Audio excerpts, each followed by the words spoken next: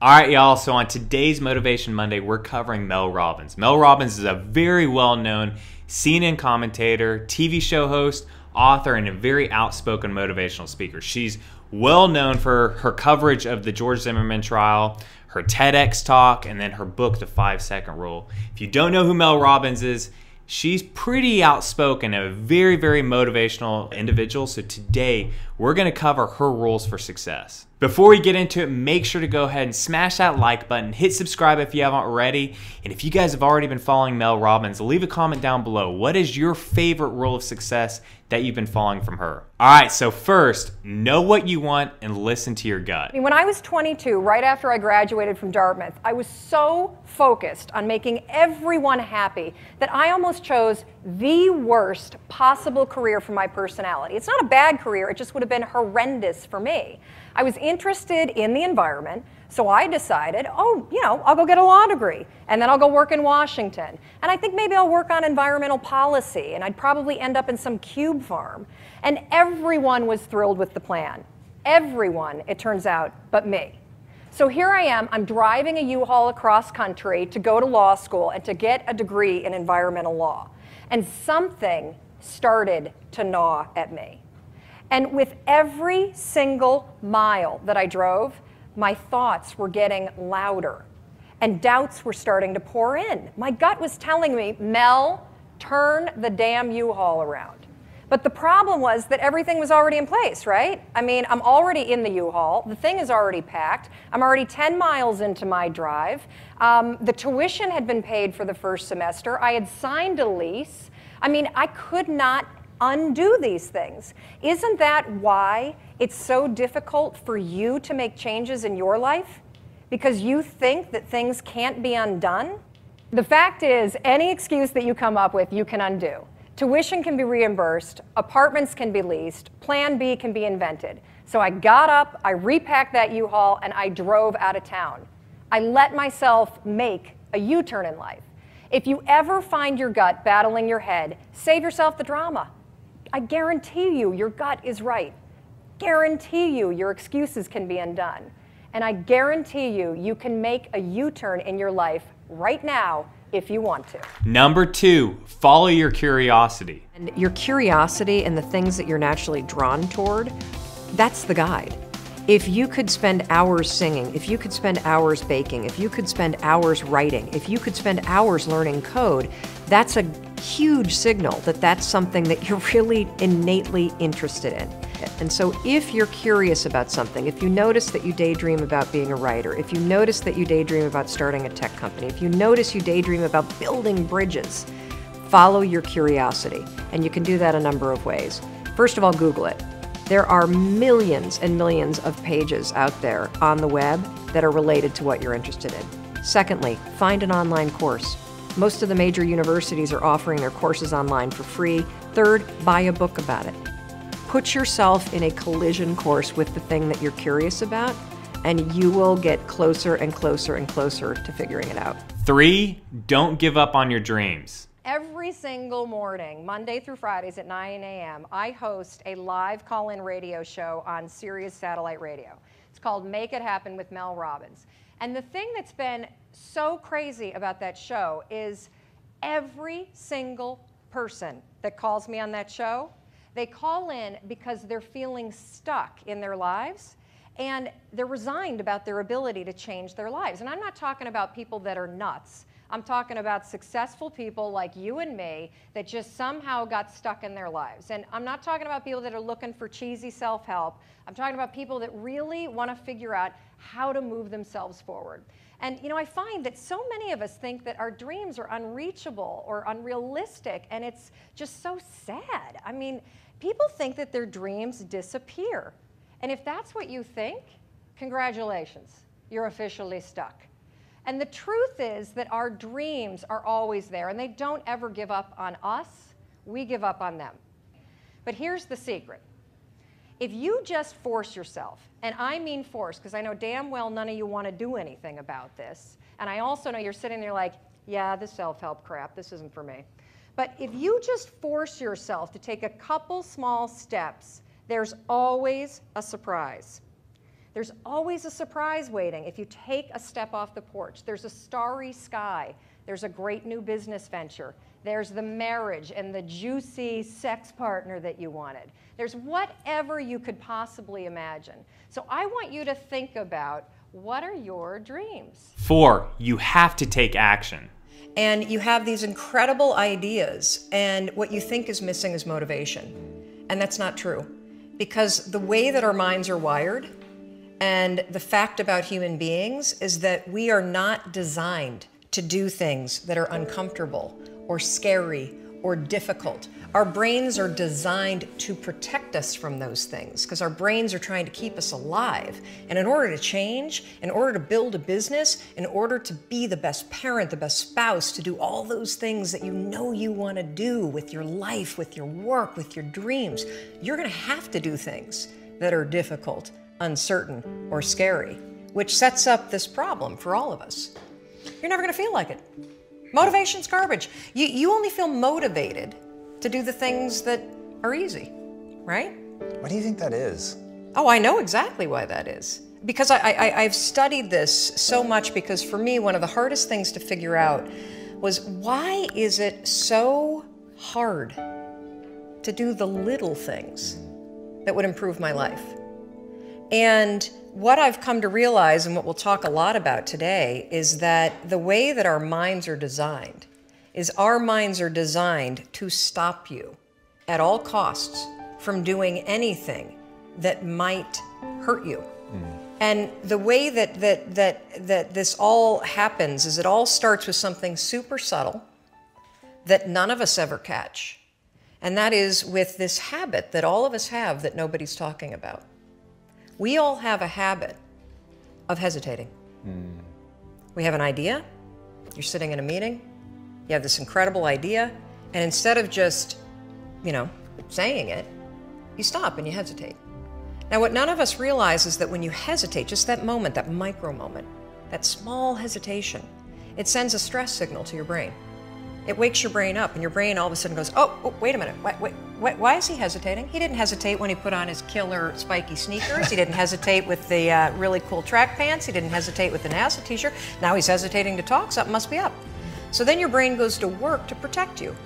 It has a million different ways to protect you. One of them is called the spotlight effect. It's a known phenomenon where your brain magnifies risk. Why? To pull you away from something that it perceives to be a problem. And so you can truly trace every single problem or complaint in your life to silence and hesitation. Those are decisions. And what I do and what's changed my life is waking up and realizing that motivation's garbage. I'm never going to feel like doing the things that are tough or difficult or uncertain or scary or new. So I need to stop waiting until I feel like it. And number two, I am one decision away from a totally different marriage, a totally different life, a totally different job, a totally different income, a totally different uh, relationship with my kids. Not like one decision, I'm divorcing you in, in the marriage example, but one decision on, you know, you could be having a conversation with your spouse and you feel your emotions rise up, and within a tiny window, those emotions can take over and can impact how your marriage goes. Or you can learn how to take control of that micro moment and make a decision to act in a way that actually shifts your marriage. Your life comes down to your decisions, and if you change your decisions, you will change everything. Five, continually push yourself to the next level. You tend to think that what you want, you just march right towards it. But if in sports you march right towards the goal, what happens? The defenders come in. And what the defenders are is it's your brain saying, ain't gonna happen. So the second you start moving toward that thing you want, be ready. You're gonna tell yourself you don't feel like it. You're gonna have to force yourself. It's happening. There's no way to get around it. So what you're gonna have to do is you're gonna basically get bounced around a lot, all over the place. And there are gonna be a lot of times that you feel like this was a really dumb idea to start this business because it's gonna get hard. And I wanna remind you about something. Unlike a sports field where there's an in and out of bounds, the great thing about life is there actually aren't any. And it's usually in those moments where you feel like you can't do it that you're closer than ever to having everything that you wanted. And I wanted to show you this so that you keep it in mind because I think a lot of times when you look back, it's the darkest moments where you realize, holy cow, that's what projected me forward. Six, always focus on thinking positively. What about when someone can't realize or identify their own negative feelings? Someone that has been conditioned to live in negative feelings and believes that that's normal. This question comes from Basso Anna Denegada. Um, it is your normal. You're right. It's a really, um, first of all, I'm sorry that that's been your experience of life because that really stinks and it doesn't have to be that way. But here, here's where I want you to go. What's interesting about what you said is the fact that these feelings are normal, okay? Normal just means you're used to them, but you don't have to live with them. So even though you're so used to these negative feelings and these feelings of doubt, you still don't like them you still have the ability to stop that. So I want you to think of a moment in time when you were really happy. Like it could be a memory from being little, it could be something that you dream of doing. And I want you to come up with something really specific about that moment, okay? Like think about what you were wearing or think about the, the, the, the blue sky. That is going to be what I call your anchor thought. Every time from this moment forward that you wake up or you find yourself drifting to those normal feelings of, I'm a loser, I'm worthless, I'm never going to find love. They may be things that you're used to thinking, but that doesn't, that doesn't matter because you can change them. The second that you feel that, you've drifted over into that thought. And I keep coming over here because when you start using the rule, you're going to start to literally feel which part of your mind you're using. The worries kind of happen here. I want you to five, four, three, two, one, and then I want you to insert this vision of yourself, this vision of yourself where you felt really good. And if you can't think of one, invent one. How would you feel if you were in love? How would you feel if you loved yourself? How would you feel if you did that thing that you're scared of, that you keep talking yourself out of? That's your anchor thought. Now, when you first start using the rule, particularly when you're breaking a habit, a habit of thinking negative thoughts, when you first start doing it, you may need to use the five second rule 73 times in one day. That's okay. I had to do it like that when I was first using the rule to cure myself of anxiety. When I would start to worry about anything, I'd start to worry about, you know, my kids or I'd start to worry about money and I'd feel my thoughts drift, and then I'd start to feel my heart race. I would stabilize my thoughts, five, four, three, two, one. I'd activate my prefrontal cortex, lower the, the worries, you know, on the other side, and then I would start to think about something that actually made me feel really calm or excited. That is the battle of your mind. And you know, the other thing about normal that I just want to say is that the reason why it feels normal to doubt yourself and to have low self-worth is because you've thought this so long. It's become a pattern, just like chewing your nails becomes a pattern of behavior that you don't think about. Well, the cool thing is, is that based on science, you can actually change any pattern, even a thinking one. So use the five second rule. Every single time you catch yourself thinking the nasty stuff, and then activate your prefrontal cortex and force yourself to think something positive. Seven, you have to be honest with yourself. We live in the most amazing moment in time. So, that thing that you have up here, whatever it may be, you want to use healthy eating to cure your diabetes, you want to figure out how to take care of uh, the elders and start a new hospice center, you want to move to Africa and build a school. Guess what? You could walk into a bookstore right now and buy at least 10 books written by credentialed experts on how the hell you do it. You could Google it, and you could probably find at least, I don't know, a thousand blogs documenting the step by step by step transformation that somebody else is already doing. You can find anybody online and cyberstalk them. You can just walk in their footsteps and let them, you know, just use the science of drafting. Follow what everyone else has done because somebody else is already doing it. So why don't you have what you want? When you have all the information that you need, you have the contacts that you need, there are probably free tools online that allow you to start a business or join a group or do whatever the heck you want. It all comes down to one word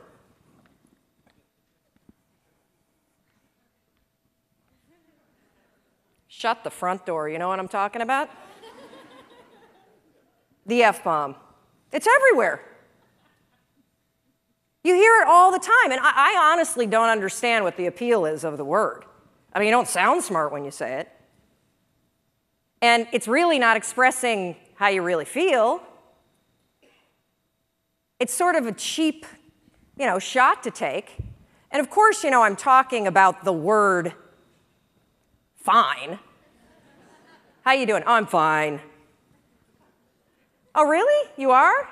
Dragging around those extra 40 pounds? You're fine? Feeling like roommates with your spouse? And you're fine? You haven't had sex in four months? You're fine? Really? I don't think so. But see, here's the deal with saying that you're fine it's actually genius. Because if you're fine, you don't have to do anything about it. But when you think about this word fine, it just makes me so angry. I mean, here we are at a conference about being alive, and you're going to describe the experience of being alive as fine? What a flimsy and feeble word. If you're crappy, say you're crappy. If you're amazing, say you're amazing. Tell the truth. And this not only goes for the social construct, oh, I don't want to burden you with the fact that I hate my life, or, you know, hey, I'm amazing, but that would make you feel terrible. The bigger issue, the bigger issue with fine is that you say it to yourself. That thing that you want, I guarantee you, you've convinced yourself that you're fine not having it. That's why you're not pushing yourself. It's the areas in your life where you've given up, where you've said, Oh, I'm fine. I, I, my mom's never going to change, so I just can't have that conversation. I'm fine. You know, we got to wait until the kids graduate before we get divorced, so we'll just sleep in separate bedrooms. I'm fine. I lost my job. I can barely pay my bills, but whatever, it's hard to get a job. And, you know, one of the reasons why this word also just annoys me so much is scientists have calculated, oh, yeah, I'm coming down. Scientists have calculated the odds of you being born. That's right. They've crunched the numbers. I see you up there. They have crunched the numbers on you. Yeah, no, you guys standing up, you want to sit down for this. They've crunched the numbers on you being born. And they took into account all of the wars and the natural disasters and the dinosaurs and everything else.